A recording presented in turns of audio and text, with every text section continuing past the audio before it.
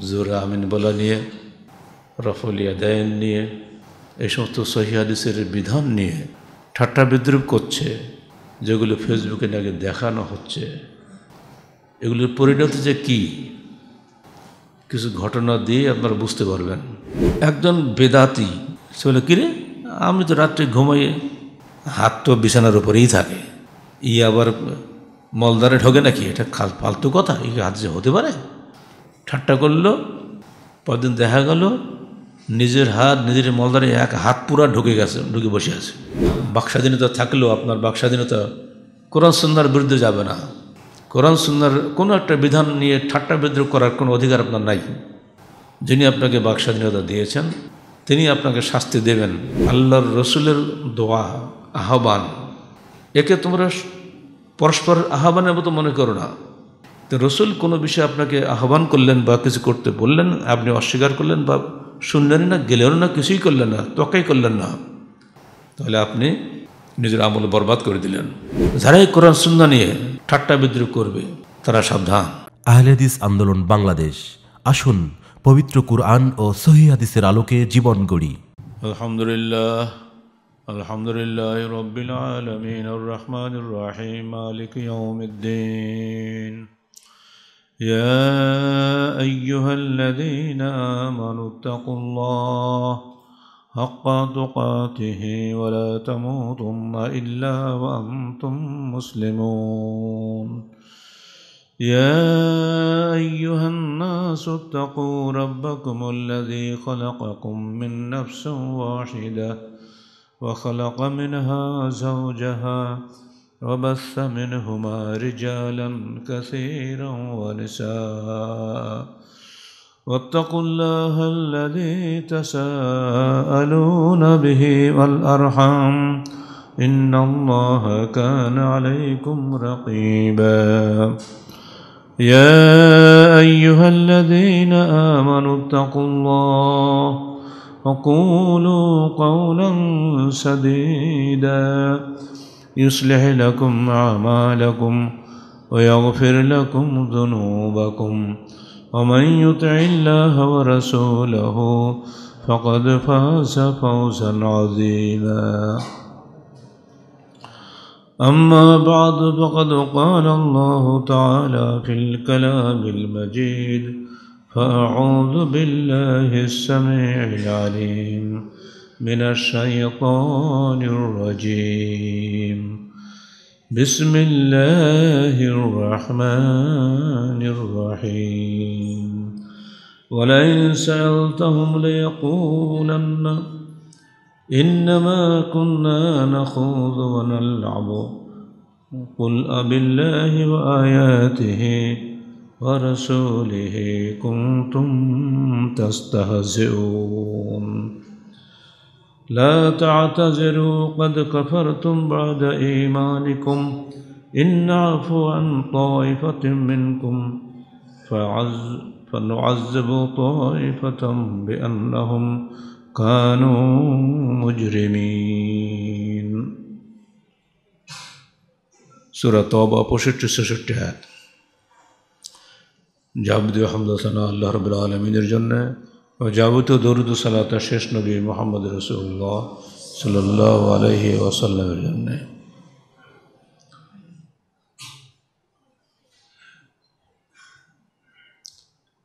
আল্লাহর বিধান নিয়ে মক্কার কাফেররা প্রথমে অস্বীকার করেছে, হাসি ঠাট্টা করেছে, অনেক কিছু করেছে। তারা অহেতুক কূট তর্ক করেছে, নানা উদ্ভট যুক্তি দিয়েছে, তহমত দিয়েছে, অপবাদ দিয়েছে সিরত রসুলের পাঠকরা এগুলো ভালো করে জানেন। কিন্তু পরবর্তীকালে মুসলমানদের মধ্যেই ইসলাম কবুল করার পরেও একদল লোক যুক্তিবাদের নামে বা আরও নানাবিধ অপযুক্তির মাধ্যমে সে কাপড় দেশে অভ্যাসটাই তাদের মধ্যে আবার বেরিয়ে আসে।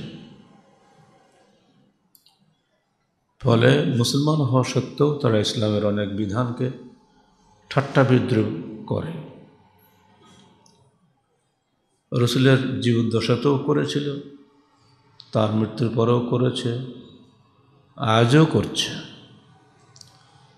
আপনারা জানেন দু হাজার তেরো সালে ব্লগার রাজীব হায়দার নিহত হয়েছিল রসুল্লাহ সাল্লাহ আলী আসাল্লামের বিরুদ্ধে ব্যঙ্গ কবিতা রচনার কারণে।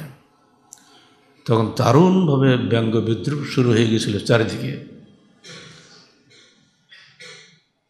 তখন আমরা এই মেম্বারে দাঁড়িয়ে এই আয়াত দুটির উপরে ভিত্তি করে খদ্দা দিয়েছিলাম।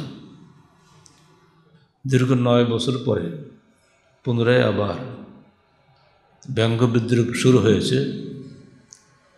এবার কিন্তু বামপন্থীদের মাধ্যমে নয়, ডানপন্থী হুজুরদের মাধ্যমে। টুপি দাঁড়িয়ে সব তাদের আছে।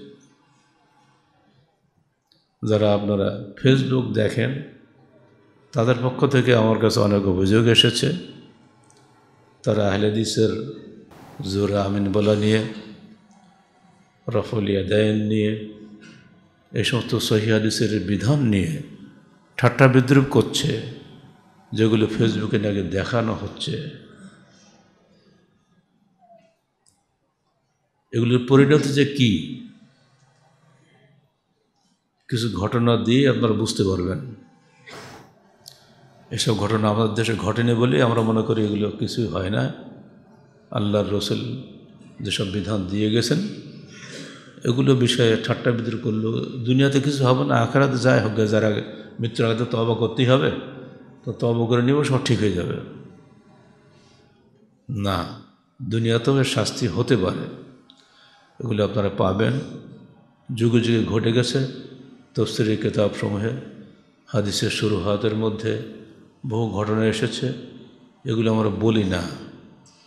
কারণ আলেমুল আমাদের বিরুদ্ধে বললে নিজেদের গায়ে আসে। যখন তারা তাদের এলমি মর্যাদার বাইরে চলে যান, ঠাট্টা বিদ্রোহী পর্যায়ে চলে যান রসুলের হাদিস নিয়ে, তখন বাধ্য হয়ে জনগণকে সতর্ক করার স্বার্থে কিছু কথা বলতেই হয়।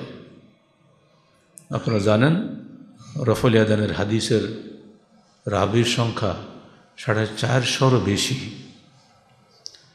একটা হাদিস রয়েছে জয়ীফ সেটা নিয়ে এদেশের অধিকাংশ মুসলমান সেলাত আদায় করেন, তারা রফল ইয়াদান করেন না।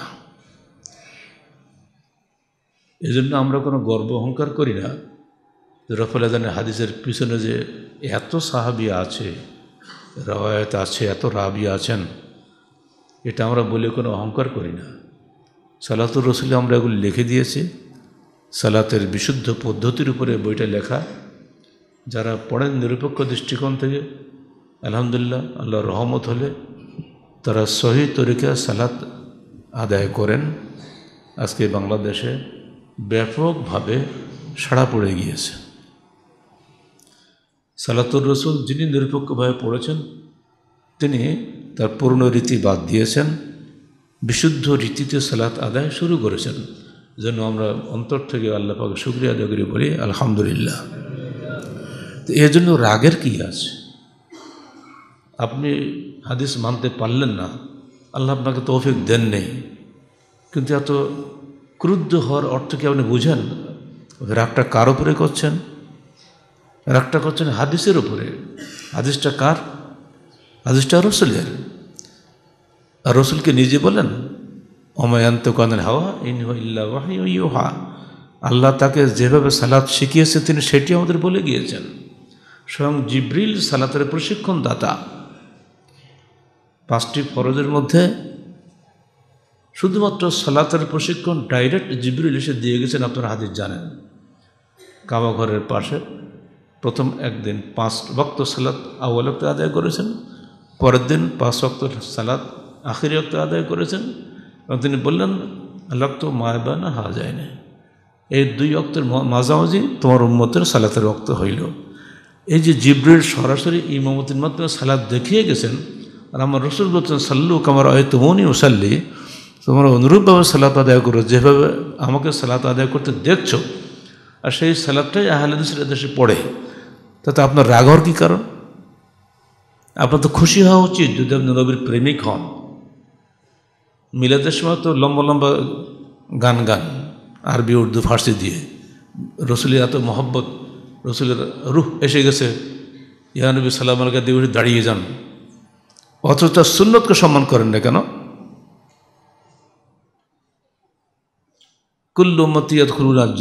ইল্লামান আবা। আমার সমস্ত উম্মত জান্নাতে প্রবেশ করবে যে ব্যক্তি অসম্মত। কলু অমান আবা ইয়া রসুল্লাহ জান্নাতে যদি অসম্মত, এরা কারা হি আল্লাহ রসুল? তিনি বললেন মানে অত আনি বা দেখালেন জান্নাত যারা আমার অনুসরণ করবে, তারাই জান্নাতে প্রবেশ করবে। এবং আসানি ফাকাত আবা। যারা আমার অবদ্ধতা করল তারাই হলো অসম্মত। যারা রসুলের এক একটা শূন্যতে ঠাট্টা বিদ্রোহ করছেন, তারা সরাসরি আল্লাহ রসুলকেই ঠাট্টা বিদ্রোহ করছেন। এই আয়াত নাজিলের কারণও ছিল এই ধরনেরই বিষয়। কারণটা কী ছিল? আল্লাহ রসুলের সর্বশেষ যুদ্ধ হলে তবুকের যুদ্ধ তো হয়নি, অভিযান। রোমকরা পালিয়ে গেছিল খ্রিস্টানদের বিরুদ্ধে এই অভিযানটা ছিল। তাদের বহু সেনাবাহিনী থাকলেও কিন্তু আল্লাহ রসুলের তিরিশ হাজার সৈন্য খবর পেয়ে তারা এমনি খ্রিস্টান দিয়েছিল, যুদ্ধ হয়নি। তখন এই মোনাফকরা বলেছিল যে, এই লোকটা আমাদের যে বলল তারা তবুক বিজয় করবে। বিজয় করার পরে ওই খ্রিস্টানদের বড় বড় বালাখানা, কসুরের রুম, রুমকদের বিশাল বিশাল প্রাসাদ দখল করবে। আর সোনার উপর সব পেয়ে যাবে। সব মিথ্যা কথা। নিজেরা এইসব বলগাও করেছে। আল্লাহ পাক সেটা তার রসুলকে জানিয়ে দিয়েছেন এই দেখো, তোমার সঙ্গে যারা আছে, এর মধ্যে কিছু লোক এই ধরনের গল্প করতেছে। আল্লাহ রসুল বললেন, দেখো, ওদের ডেকে আমার কাছে। ডেকে আনা হলো। কি তোমরা এমুক অমুক কথা বলছিলে? তখন বলছে, ইয়া রসুল্লাহ কন্যা না খুঁজবো না লাভ আমরা এমনি একটু আলোচনা সমালোচনা করছিলাম আর খেল তামাশা করছিলাম। আসলে আমাদের অন্তর ঠিক আছে। তখন এই আয়াতটা নাজিল হয় যেটা আমি পড়লাম আজকে। আল্লাহ রসুলকে ধোকা দেওয়া যায়, আল্লাহকে ধোকা দেওয়া যাবে? ওদের অন্তর খবর তো আল্লাহ রাখে। এ যুগেও আমরাও যদি কাউকে এরকম বলতে শুনি আর ধরা খেলে সে কিন্তু বলবে, আমরা অন্তর থেকে কথা বলে নি এমনি খেলতামাশা করছিলাম। না, কোরআন এবং হাদিস নিয়ে খেলতে খেলতামাশা করা নিষিদ্ধ। খলিফা হারুন রশিদ বলছেন, দেখো ইয়া দিন বল কোরআন। খবরদার, কোরআন এবং দিন ছাড়া এই দুটি বিষয়ে তোমার সাবধান থেকো। এর বাইরে তুমি যা খুশি বলো, আমি মেনে নেব। তো কোরআন সম্পর্কে এবং আল্লাহ দিন সম্পর্কে সামান্যতম যদি কোনো বিভাস কথা বলো, আমি তোমাকে ছাড়বো না। তা আমাদের এদেশে তো সেরকম শাসন নাই। যে যা বলে বলুক যা। না, বাকস্বাধীনতা থাকলেও আপনার বাকস্বাধীনতা কোরআন সুন্নার বিরুদ্ধে যাবে না। কোরআন সুন্নার কোনো একটা বিধান নিয়ে ঠাট্টা বিদ্রোহ করার কোনো অধিকার আপনার নাই। যিনি আপনাকে বাকস্বাধীনতা দিয়েছেন তিনি আপনাকে শাস্তি দেবেন। কীভাবে দেবেন তা আপনি জানেন না। কয়েকটা ঘটনা শুনলে আপনি বুঝতে পারবেন। এই বিষয়ে, এই আয়াতের ব্যাপারে ইমাম রাজি রহমতুল্লাহ আলহে যে তার তফসিরের মধ্যে চারটি বিষয় এনেছেন। তিনি বলেছেন, দেখো এর মধ্যে একটা বিষয় এসেছে, আল ইস্তেজাব লাজি কাইফা খান কুফরান। যে ধরনের তুমি ঠাট্টা বিদ্রোহ করো না কেন, এটা কুফরি। ঠাট্টা করলেই তুমি কাফের হয়ে যাবে। দুই ইয়াদুল্লাহ বুতনাল কল ইন মান কল আল কুফর ইল্লা বে আফআল উলু ওই ব্যক্তির যুক্তি এখানে অচল করা হয়েছে, যে ব্যক্তি মনে করে কাফের হবে তখনই যখন সে অন্তর থেকে কুফরি করবে, মুখে বললে কাফের হবে না। তার এই যুক্তি অচল, মুখ দিয়ে বললেই সে কাফের হয়ে যাবে। তিন, ও কুফর বিল হকিকা, এটা একদম বাস্তব কুফরি, প্রকৃত কুফরি এটা। যদিও তারা ইতিপূর্বে মোনাফেক ছিল মোনাফেকরা মুখে কলমা পড়ে। লোক দেখানো সালাদ আদায় করে শ্যাম পালন করে, সবই করে। কিন্তু মুগ্ধ যদি সে কোরআন সুন্নার বিরুদ্ধে কোনো হাকাম বিরুদ্ধে কোনো কথা বলে ফয় কুফর বিল হাকিকা, এটা নিশ্চিতভাবে কুফরি হয়ে যাবে। চার নম্বর তিনি বলছেন আদুল্লু আল্লাহ আন্নাল কুফরা, ইন্নাম হাদাসা বাদান কানু মুমিনিন। মুমিন হওয়ার পরেই তো কুফরি আসে। অত আপনি মুমিন, আপনি ঠাট্টা বিদ্রুপ করেছেন, আপনি কাফের। ইমাম রাজি, প্রখ্যাত মুফাসের সবাই তাকে চিনেন, তার তফসিরের ষোলো খণ্ডে উনষাট পৃষ্ঠার চমৎকার আলোচনা করে দিয়েছেন পড়ে দেখবেন সমস্ত মুফাসিরতে একমত এরা যে কাফের হবে এতে কোনোই সন্দেহ নেই প্রমাণ নেন আল্লাহ বলছেন ইয়া ইহল্লাদিনা আমানু লা তারফাউ আসওয়াতাকুম ফাওকা সাওতিন নবী ولا تجهروا له بالقول كجهر بعضكم لبعض أن تحبط أعمالكم وأنتم لا تشعرون হে ইমানদারগণ, তোমরা তোমাদের আওয়াজকে আমার রসুলের আওয়াজের উপরে উঠিও না। ওলা তাজহরুল্লাহ বিল কৌলে কাজহরে বাদলি বাদেন। এবং তোমরা নিজেদের মধ্যে যেমন চিৎকার দিয়ে দিয়ে কথা বলো, আমার রসুলের সামনে উচ্চস্বরে কথা বলো না। তাহলে কী হবে? তাহাবাতা আমা আলকুম তোমাদের সমস্ত আমল বরবাদ হয়ে যাবে। ওয়ান তুমলা তা সরুন অথচ তোমরা বুঝতে পারবে না। তোমরা ভাস্তবতে খেলতে আশা করেছি। না। তার কণ্ঠস্বরের চাইতে কণ্ঠস্বর উঁচু করার মাধ্যমে যদি আমার আমল বরবাদ হয়ে যায়, তার হাদিস নিয়ে ঠাট্টা করলে আমল বরবাদ হবে না? সুরা হজরত দুই আয়াত। এবার আসেন সুরা নূর। তেষট্টি আয়াত আল্লাহ কি বলছেন?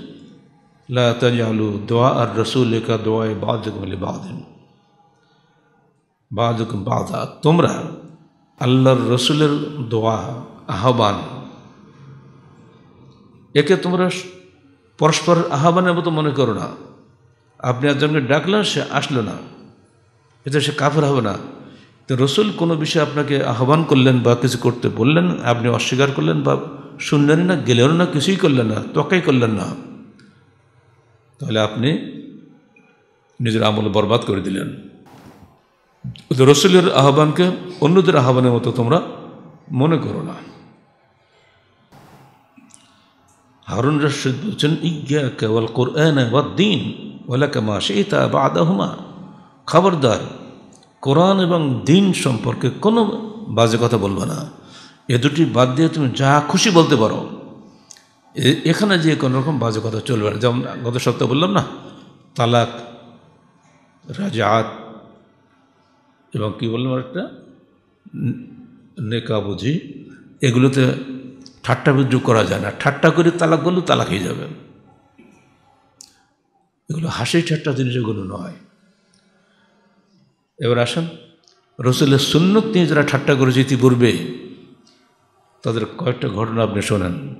আর নাবি হরেরতা রাজিলত আনু কল কল রসুল্লাহ সাল্লাহ আলী আসাল্লাম আলা একশা আহাদুকুম ইজা রফা রাসাহু কবল ইমাম ইয়াজাল্লাহ রাসাহু রাসা হিমার ওয়াজালা সুরত সুরত হিমার, মুত্তফাকুন আলহ বখর মুসলিমের হাদিস রসুল্লাহ সাল্লা সাল্লাম এরশাদ করেন, যে ব্যক্তি সালাতে ইমামের আগে মাথা উঠায়, তার মাথা হবে গাধার মাথা। অথবা তার পুরা চেহারাটাই হয়ে যাবে গাধার চেহারা। এই হাদিস দামাস্কের মসজিদে শোনার জন্য একজন ব্যক্তি দামাস্কের সবচেয়ে প্রসিদ্ধ একজন মহাদ্দেশ তার কাছে গেলেন। তিনি যে বলেন আপনি কি হাদিসটার বর্ণনাকারী? তাহলে হ্যাঁ। তো মাঝখানের পর্দা, ওনার চেহারা উনি দেখছেন না। কিন্তু অত্যন্ত উঁচু দরের মহাদ্দেশ তিনি আরও অনেকক্ষণ ধরে হাদিস শুনলেন তার কাছে। এক পর্যায়ে বলে আচ্ছা আমি তো এতক্ষণ ধরে আপনার কাছে হাদিস শুনলাম। আপনার চেহারাই তো দেখলাম না। তখন পর্দা সরিয়ে দেওয়া হলো। দেখি তো ভয়ে চম করছে এ কি, যে গাধা? আপনি আপনি গাধা কথা বলছেন? বলে, ইয়া বোনাইয়া এহেজের হে বৎস, ভয় করো। আমি আল্লাহ রসুলের এই হাদিসটাকে মনে করছিলাম অবাস্তব। এ কিছুই না এমনি ভয় দেখাইছে। আমি গুরুত্বই দেয়নি তুচ্ছ মনে করেছিলাম। আর তারই ফলাফল হচ্ছে এই, আমি নিজে একদিন ইমামের আগে মাথা উঁচু করেছিলাম। দেখি আমার কি হয়। আদিস তো বলছে, মাথা তো ঘোড়া হয়, কী বলে, গাধা হয়ে যাবে। দেখি আমি গাধা হই কিনা। এই মনে করি আমি ইচ্ছাকৃতভাবে ইমামের আগেই মাথা উঠিয়েছিলাম। তারপর থেকে আমার এই অবস্থা, লোক আসলে আমি পর্দা দিয়ে রাখি যেন কেউ আমাকে না দেখতে পায়। বলো সুবহান আল্লাহ হামদ বাস্তব ঘটনা এগুলো সব।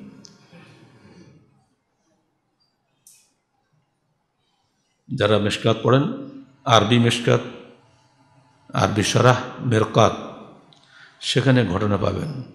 যারা তিরমিজি পড়েন, আরবি সরাহ তহফত লাহজি সেখানেও এই ঘটনা পাবেন। এই সমস্ত সর্বোচ্চ গ্রন্থে এইসব ঘটনাগুলো বর্ণিত হয়েছে, কিন্তু এগুলো আমার মানুষের সামনে বলি না। এখন তো মৌলবীরাই ঠাট্টা শুরু করে দিয়েছে। তো ওদের কাছে ছাড়া হবে? সাবধান। বিশেষ করে আমার ছাত্ররা কেন আছো? তোমরা যারা হাদিস পড়ো, মনে রেখো, আমার রসুলের জবান দিয়ে কখনোই কোনো মিথ্যা কথা বের হয় না। বুঝতে পেরেছ? তিনি যে হাদিস যেভাবে যা বলে গেছেন, ওটা অব্যর্থ সত্য। এই বিশ্বাস নিয়ে তোমরা হাদিস পড়ব যে কোন হাদিসের যুক্তির বিরোধী মনে হয়, তুমি অস্বীকার করো যে এই মহাদ্দেশ মতন অবস্থা তোমার হতে পারে। দুই, আরেকটা হাদিস। নাবি হরাইরাতা রাজালতানু কল কল রসুল্লাহ সাল্লাহ আলিয়া সাল্লাম ইজাস্তাই কাজ আহাদুকুমিন নমি ফলা ইয়াকমাস ইয়াদাহু। ফি ইনা ইন হাত্তাইয়াকসেলহা সালাসান ফাইন্নু লাইয়াদরি আয়না বা ইয়াদুহু রহ মুসলিম আল্লাহ রসুল বলছেন, যখন তোমরা ঘুম থেকে উঠবে, তখন তোমরা পাত্রের মধ্যে হাত ডুবাবে না। তিনবার ধোয়া ব্যতীত। কারণ সে জানে না রাত্রেবেলা তার হাত কোথায় ছিল। কিন্তু তাহারা তো তোমরা হাস পাবে। মিসকাতের মধ্যে আদিসটা রয়েছে, সবাই তোমরা পড়েছো।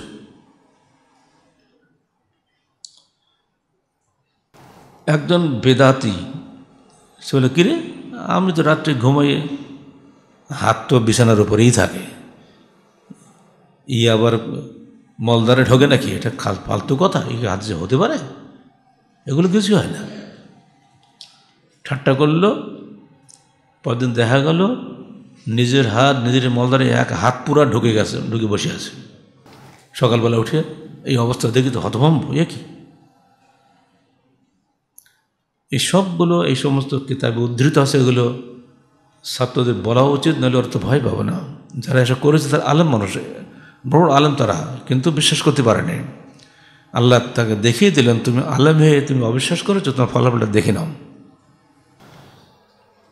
আরেকটা হাদিস খুব মশহুর হাদিস, এটাও মিসকাতে পাবে কিন্তু এলিমের মধ্যে। কাসির বিন ওয়েস কয়লা কুন্তু জায়ালেছেন ইন্দা বিদ্যার্দা ফি মসজিদে দিমাস্ক কাসির বিন কায়েস বলছেন, আমি দামাস্কের মসজিদে প্রখ্যাত সাহাবি মসজিদ আবুদ্দর্দা রেজাল্লাহ আলহর কাছে বসেছিলাম। ফজ্জাহু রাজুলুন, অতপর একজন লোক আসলো। তিনি এসে বললেন আমি সুদূর মদিনা থেকে এসেছি, দামাস্ক পর্যন্ত। শুধুমাত্র একটা হাদিস শোনার জন্য। শুনেছি হাদিসটা নাকি আপনি বর্ণনা করেন। এটা আমাকে শোনাবেন হাদিসটা? তখন তিনি বললেন, মান সালাকা তারিকান ইয়াতলবু ফিহি ইলমান, সালাকাল্লাহু লাহু বিহি তারিকান ইলাল জান্নাহ। যে ব্যক্তি এলেম তালাশের জন্য রাস্তায় বের হয়, আল্লাহ তাকে জান্নাতের একটি রাস্তায় পরিচালিত করেন। ওয়াইনাল মালাইকতা লাইয়াদাও আজনেহাতাহা রেজানলি তালবিল এলেম আর ফেরেশ তারা ওই তালেবে এলমের সন্তুষ্টির জন্য তাদের ডানাসমূহ বিছিয়ে দেন রাস্তায়। সুবহানাল্লাহ রহ আহমদ তিরমিজি বিসনাদিন শাহী আল্লামা খতিব বগদাদি, সবাই আপনার নাম জানেন, বিখ্যাত মানুষ। তিনি বলছেন, একজন মতাজেলা ব্যক্তি, মতাজেলা বুঝেন তো, যারা অতি যুক্তিবাদী, যারা সব কিছু যুক্তি দিয়ে পালন করতে চায়, যুক্তিতে মিললে হাদিস মানে নাইলে মানে না। সে বলল অল্লাহ লাত্রকান্না গাদান না নালি বিমাসামির ফাতাও বেহা আজিনহাতাল মালায়কা। আল্লাহর কসম, কালকে আমি আমার জুতার নিচে পেরে সেট করে রাস্তায় বেরোবো আর এই ফেরেস্তাদের ডানাগুলো সব মাড়িয়ে গুড়িয়ে দেবো। সকাল সেদিন সে ঠিক সেই কাজই করল। ফেরেস্তাদের ডানা গুড়াতে গেলে তা তো পেরেক তো লাগবেই। জুতার নিচে যারা বুটে ফুটবল খেলা করে দেখেন না, জুতার নিচে বুট থাকে না, যাতে পিছলে পড়ে না যায়। আর এ গেল ফেরেস্তার ডানা ভাঙার জন্য। কত বেহাদব মলানা, চিন্তা করেন। ফাফালা সে তাই করল। জাফত রেজলাহ। চলতে চলতে গিয়ে দুই পায়ে একেবারে প্যারালাইজড হয়ে শুকিয়ে কাটে গেল, সঙ্গে সঙ্গে। দুই পায়ে একেবারেতে কিছু আর থাকেনি। তারপরে মরল আর থাকে। অহংকার করলে আল্লাহর হাতেই তো আপনার জীবন, তাই না? আপনার দেহে রক্ত চলছে, কার হুকুমে? বিশ্বাস তো করেন না। স্বাস্থ্য ভালো আছে, দেহে রক্ত চলছে। রক্ত চলবে না, সব কলাস্ট হয়ে যাবে। যার হুকুমে দেহে রক্ত চলছে তার হুকুমে রক্ত বন্ধ হয়ে যাবে। ভালো মানুষ হঠাৎ করে প্যারালাইজ হচ্ছে না আজকাল আমাদের?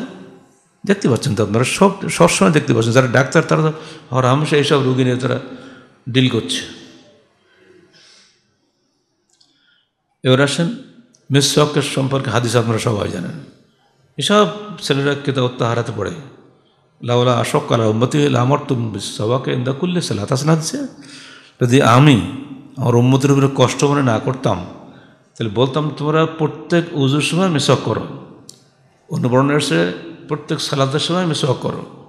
যদি কঠিন মনে না করতাম, তা পাশাক্ত সালাতে পাঁচবার মিসওয়াক করা হুকুম আমি দিতাম, কিন্তু দেই নাই, কারণ এটা কষ্ট হবে। একবারই যথেষ্ট। অনেকে আছে এমন বোকার বোকা, সকালে উঠে কিসের মেসোয়াক? ও আগে সিগারেট খায়। শুয়ে শুয়ে সিগারেট খায়, তারপরে ঘুম থেকে ওঠে। এসব বেয়াদবগুলোকে কে বলবেন? মেসোয়াক না করলে মুখের গন্ধ যায়? এ তো পাগলও বোঝে, এ বুঝতে কোনো লেখাপড়া করা লাগে না। এজন্য আল্লাহ রসুল আমাদেরকে নির্দেশ দিয়ে গেছে, তোমরা খবরদার আগে মেসক করো ভালো করে। শ্বাস ফা হো। এক দাঁত সিলে ফেলতেন আল্লাহ রসুল নিজে। এত সুন্দর মেশক করতেন, তার কাছে কোনো দুর্গন্ধ আসতো না। এমনকি মৃত্যুর আগ মুহূর্ত ফেরস্তা আসতে দেখেও তিনি মা আশা বলছেন, ওই মেসকের দিকে তাকাচ্ছেন। তখন আমি মেসকটা চিবে ওই নরম মেশাক আল্লাহ রসুল্লাহ হাতে দিলাম, উনি ছেড়ে দিয়ে মেসক করলেন। তো মেশকের প্রতি তার যে দারুণ একটা আগ্রহ ছিল। এই হাদিস শোনার পরে একটা লোক টিটকারি করে বলল, আরে ছাড়ো তোমার মেশক আমি এই মেশক আমার নিতম্বে ভরে দিলাম। চিন্তা করতে পারেন?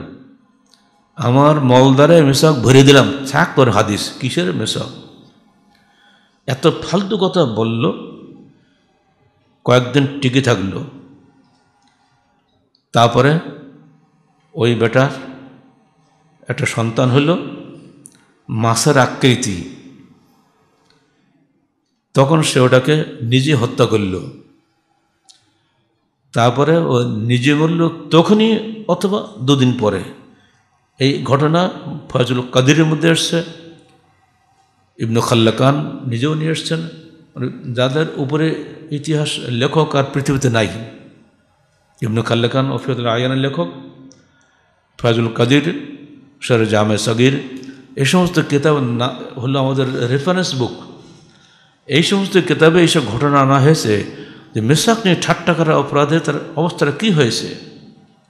সে নিজে মরেছে, তার বাচ্চা মরেছে, টিকতে পারেনি। আরেকটা ঘটনা খুব মজাবি বিদ, গোলমাল আছে একটা বিষয়ে মোসার রাতের হাদিসটা। যদি কেউ গরুজন আমাদের হাটে বাজারে বিক্রির জন্য আমরা নিয়ে যাই না? তা দুদিন আগে থেকে গরু খাওয়া বন্ধ করে দেই, যাতে পালান ভারী হয়, যাতে ক্রেতা বুঝে এই গরুতে খুব দুধ হয়। আল্লাহ রসুল বলছেন, এরকম যদি তোমরা করো, তাহলে ওই গাভী তো বিক্রি করব, সঙ্গে এক শাক খেজুর দিও। মানে অনেকে এসব ধোকা দেয় তো। এই হাদিসটা নিয়ে মজাবি ভাইদের দ্যাট ইজ তাদের ওলামাই কেরামের দারুণ আপত্তি। একেবারে এত বেশি কথা তারা লিখছেন, সে হতভম্ব হয়ে যেতে হয়। দামস তখন ছিল বিশ্বের শ্রেষ্ঠ কেন্দ্র, যেখানে হাদিসের আলোচনা সবসময়ই হতো। তো সেখানে একদিন এই হাদিসটা নিয়ে টিটকিরি হচ্ছে। মানে আবহাওয়াকে নিয়ে আজে বাজে কথা বলা হচ্ছে। তখন হঠাৎ করে সেখানে কোনো বন জঙ্গল কিছু না, সুন্দর মসজিদ, সবার সামনে একটা সাপ মসজিদ থেকে, অর্থাৎ সাত থেকে নিচে পড়ল।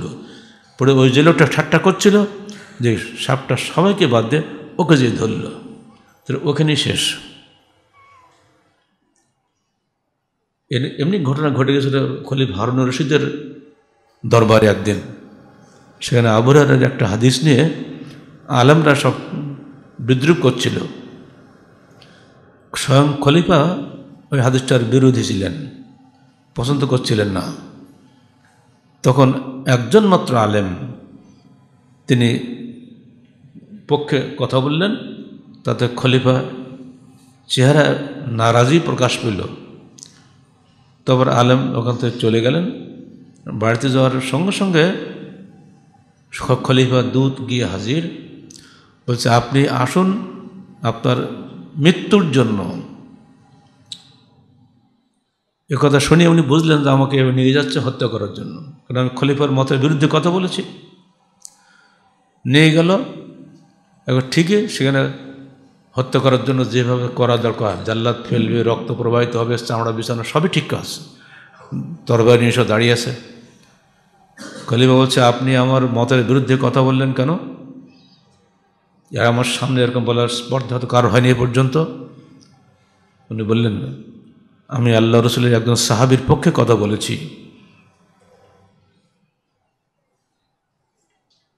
হে আল্লাহ, যদি সাহাবির পক্ষে কথা বলার জন্য আমার ত্রুটি হয়ে থাকে, তুমি আমাকে ক্ষমা করো। আর যদি আমি হকের উপরে থাকি, তুমি আমাকে সাহায্য করো। খলিফা বললেন আচ্ছা আপনি এর আপনার পক্ষে যুক্তি দেন। উনি বললেন, হে খলিফা যে আজকে আবুরারাকে মিথ্যাবাদী বলি, তিনি সাহাবিদের মধ্যে সবচেয়ে বেশি হাদিস বেত্তা। সাড়ে পাঁচ হাজারের উপরে হাদিসের হাফেজ তিনি। পাঁচ হাজার সাতশো বারোটি হাদিস তিনি বর্ণনা করেছেন। কেউ এত হাদিস বলেননি। যদি তাকে মিথ্যাবাদী বলি তো সমস্ত হাদিস মিথ্যা হয়ে যাবে, রোজ আল্লাহ দিন মিথ্যা হয়ে যাবে, ইসলাম মিথ্যা হয়ে যাবে, শরীয়ত মিথ্যা হয়ে যাবে। এই জন্যে আর দ্বিতীয় কথা হচ্ছে, আল্লাহ রসুল বলছে আল্লাহ তাসব্বু আর সাহাবি খবরদার, তোমরা আমার সাহাবিদের গালি দিও না। তোমরা যে ওহত পাহাড় পরিমাণ স্বর্ণ আল্লাহর পথে ব্যয় করো তথাপি আমার একটা সাহাবির যত ফজিলত আছে, যত নেকি আছে, তার অর্ধেক পর্যন্ত আর পৌঁছতে পারবে না। আর এজন্য আমি আমার রসুলের সাহাবির পক্ষে কথা বলেছি। সঙ্গে সঙ্গে খলিফা বলল হাইয়া কল্লাহ আহিয়া কাল্লাহ আহিয়ানি আল্লাহ তোমাকে বাঁচিয়েছেন, আমাকেও বাঁচিয়েছেন বলে তাকে বহু মূল্য স্বর্ণমুদ্রা দিয়ে তাকে বিদায় করে দিলেন। আজকে সেই সাহাবিদের নিয়ে কত টিটকারি হচ্ছে। আবরের হাদিস কবুল করা হবে না, আনাস বিন মালিকের হাদিস কবুল করা হবে না। যেহেতু আমাদের মজার বাইরে তারা বলেছেন আবরের হাদিসের রফলে দেন নাই, আমিন আস্তবেলার হাদিস নাই। অতএব বুকে হাত বানানোর হাদিস তার কাছে পাওয়া যাচ্ছে না। অথবা আবহাওয়ার বাতিল। এই ধরনের মজাহাবি বিদ্বেষ নিয়ে যারা জনগণের মধ্যে পরস্পরের বিভেদ সৃষ্টির চেষ্টা করছেন, বিশেষ করে তার দিনদার মানুষ, তার এসব আলমদের কথা শুনে দিন থেকে পিছিয়ে যাচ্ছে। তারা এক কথায় বলে, এত বড় আলেম, তিনি কিছুই বোঝেন না? মনে রাখবেন যে ঘটনা পাঁচটা বললাম, তারা সেই যুগের শ্রেষ্ঠ আলেম ছিলেন। তারা এই ঠাট্টা করাতে তাদের শাস্তি হয়েছে? এই যুগেও কি আল্লাহ শাস্তি দিতে পারেন না? যে কোনো সময় শাস্তি হয় আপনার না আপনার সন্তান একটা হবেই, বাঁচতে পারবেন না। অতএব কোরআন এবং হাদিসের কোনো বিশুদ্ধ বিধান নিয়ে আদৌ আমাদের বাড়াবাড়ি করা উচিত নয়। জ্ঞানী মহলকে বলব, নিজের জ্ঞানকে কাজে লাগান।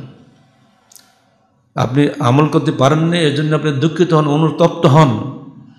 কিন্তু কেউ আমল করলে তাদের বিরুদ্ধে ঠাট্টা বিদ্রোহ করার উদ্দেশ্য স্বয়ং আল্লাহ রসুলকে ঠাট্টা বিদ্রোহ করা।